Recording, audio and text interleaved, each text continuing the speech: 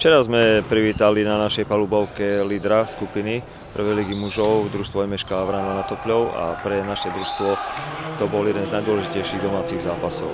Jednalo sa o to, že sme potrebovali dva body, aby sme potvrdili e, pozíciu v prvej štvorke a zahrali si play-off o postup do baráže Extraligy.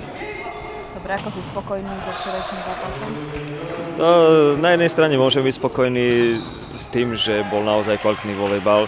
Prehrali sme obidva zápasy 3-2, 3-2, ukázala sa sila Vranova, tam sú predsa len skúsenejší hráči ako naši mladí, ale myslím, že ľudia museli byť spokojní, pretože tá atmosféra na tom zápase bola vynikajúca a naši hráči odvádzali naozaj dobrý volejbal.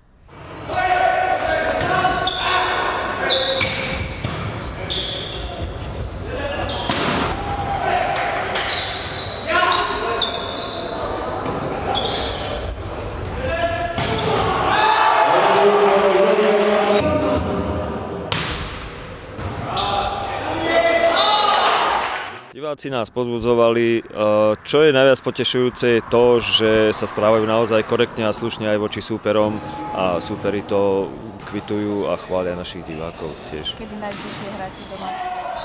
Najbližšie ešte nie je presne, kedy začíname domáce zápasy, pretože teraz bude rozlosovanie tej prvej štvorky, začína sa 18. februára a podľa všetkoho asi prvý zápas toho 18. budeme cestovať práve, práve do Vranova.